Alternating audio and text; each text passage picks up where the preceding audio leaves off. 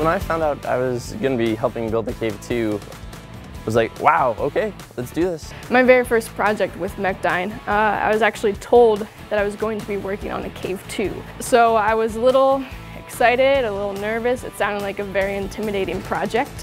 One of the largest challenges I had while helping build the Cave 2 was definitely the alignment of all 80 of the flat screen displays because it takes a lot of precision, patience, and a lot of positive attitude to get them all level and properly placed. My favorite part of the process is simply the interaction with customers. My favorite part of this process was actually turning the system on for the first time. You have this moment of, wow, I did that. Mechdyne is great at doing projects like these because we're used to getting all these really complex projects. For many of our customers, this is certainly a major installation.